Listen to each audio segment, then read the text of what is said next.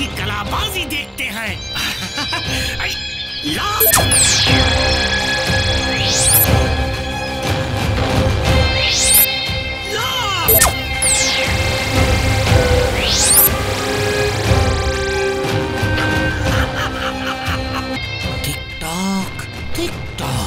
Professor स्वामी करेगा मेरी यादों को block. TikTok TikTok तो सबसे पहले करते हैं स्वामी को लॉक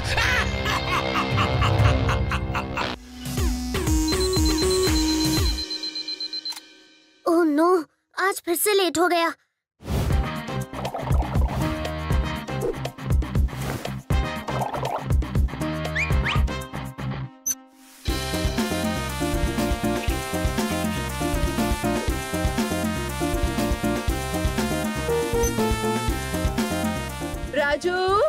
राजू तैयार हुए या नहीं?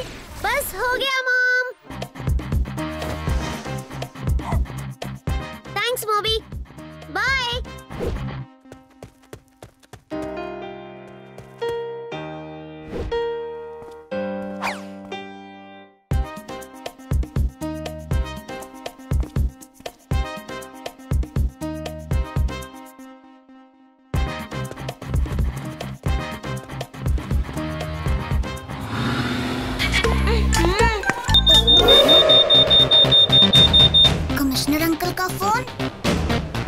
मैं अभी वॉशरूम जाकर आया। हाँ कमिश्नर अंकल? माइटी राजू जल्दी से गवर्नमेंट लैब में पहुँचो। इमरजेंसी है। अभी आया कमिश्नर अंकल?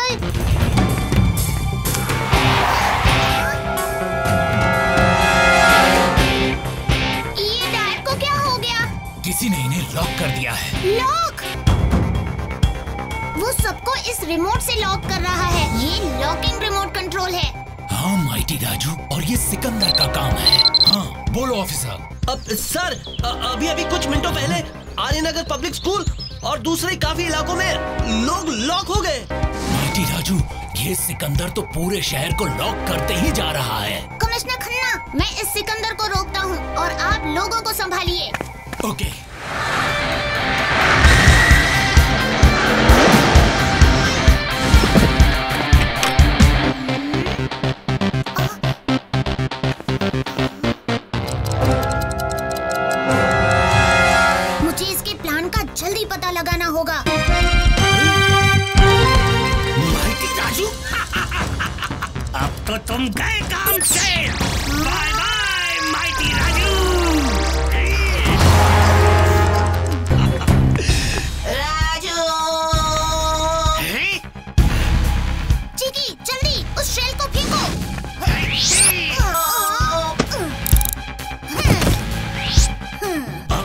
गए माइटी राजू। देखते हैं।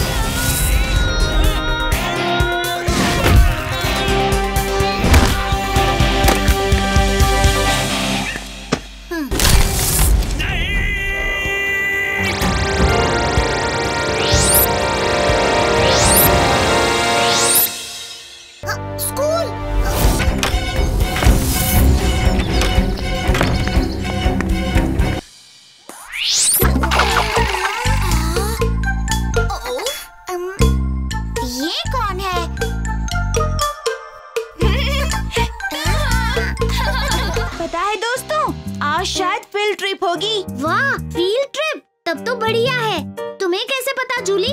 कल मैंने मैडम को प्रिंसिपल सर से ट्रिप के बारे में पूछते हुए सुना था। अच्छा है सब मिलकर मस्ती करेंगे। क्या बुलाया तुमने मुझे? चाली।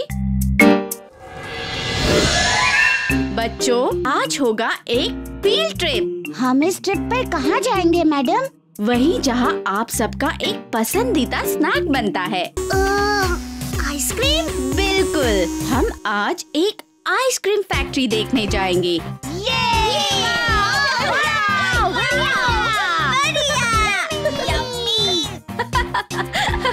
अच्छा अच्छा अच्छा ठीक है। अब सब कतार बनाकर गेट के पास खड़ी बस में चढ़ जाओ। मस्ती क्रीम ढेरों क्रीम करो क्रीम और आइसक्रीम। Ice cream factory. वाह चलो राजू।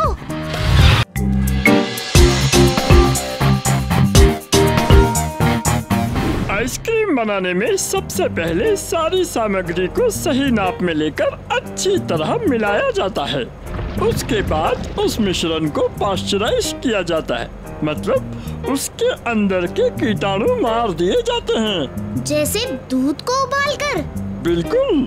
फिर इस मिश्रण को एक प्रक्रिया से फेंटा जाता है, ताकि आइसक्रीम मुलायम और मलाईदार बने।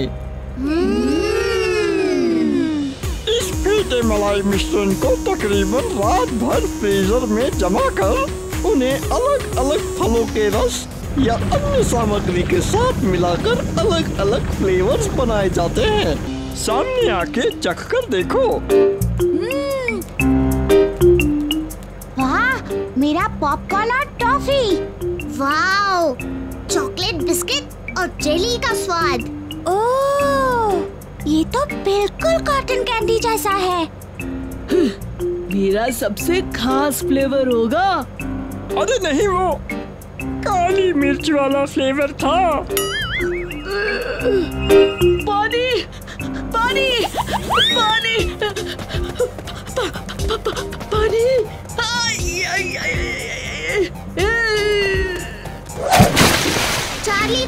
आइसक्रीम नहीं स्पाइस क्रीम मिली। चलिए टूर खत्म करें।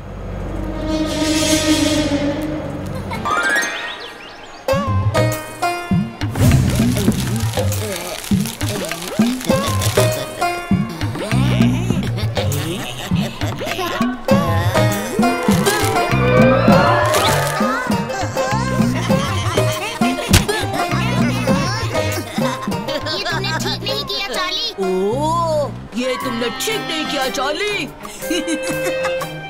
अगला नंबर तुम्हारा है राजू।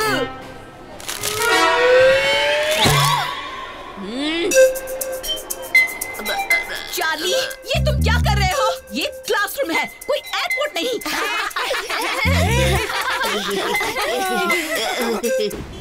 और जैसे इस पुराने नक्शे में दिखाई पड़ रहे आर्यनगर सदियों पहले एक पहाड़ी इलाका थे, लेकिन पुरातत्व खोज के अनुसार दो शताब्दियों पहले एक घमासान भूकंप हुआ था, जिससे पहाड़ के घाटी में बसे इलाके ज़मीन के तले दब गई और आर्यनगर के इर्द गिर्द समंदर की सतह बढ़ गई। घंटी बज गई। ये चलो चलो। जल्दी।